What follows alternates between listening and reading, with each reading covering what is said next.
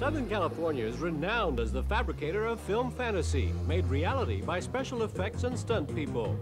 A precarious life, as you can see in these scenes, played out by one of the best in the field, Eddie Paul. This is Eddie in one of his more serene moments at home, doing what some colleagues say is what he does even better invent. Ask Eddie if it isn't a bit of a stretch to go from the rough and tumble of his Hollywood career to the mental exercise of inventing, and he says, It's not that big a transition when you think about it, because special effects is basically inventing. They come up with something that's impossible and ask you to do it in almost no time with almost no money.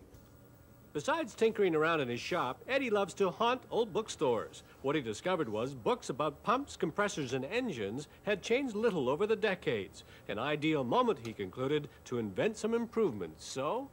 Just started with basics. I threw out everything that uh, I had been taught on engines and just uh, decided design from scratch. Biggest thing was getting air in and out of an engine or pump or compressor smoother than they do now. Right now they use a valve, and there's problems with valves. So I thought if we eliminate valves and go to ports, that's the most efficiency you can get. The only way to go to ports, I found, is with a cylindrical configuration and have the engine rotate inside so it passes the port. So that way you have, with a two-inch bore, you have a two-inch port. What Eddie ended up creating and patenting was a pump compressor which can be used as a motor, even developed into an internal combustion engine.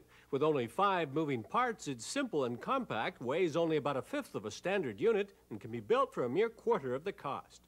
So what's the brainstorm of a stuntman in a garage got to do with you, you ask?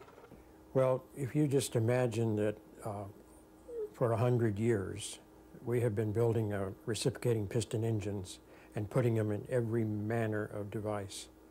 We now have an equivalent replacement. The permutations are just absolutely mind-boggling because you just you just eradicate all the old engines and replace them with this process. You eradicate all the old pumps and replace them with this design. And you eradicate all the combinations of the two. And uh, you really are, are creating a whole new uh, industrial revolution. If this invention truly has that much significance, Eddie and wife Renee can say sayonara to special effects and stunts forever.